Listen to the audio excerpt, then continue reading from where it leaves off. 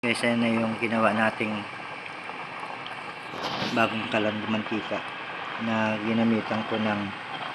dalawang kombinasyon ng drill bit 1.5 at saka 2mm yung nakikita niyo sa ibabaw na mga butas siyam yan. Tapos sa bandang taas niyan ay sa bandang baba niyan pero sa taas na portion 12 sa gitna 4 at sa ba- pinakababa ay 8 yung sa ta yung 11 mm ay 1.5 mm na yan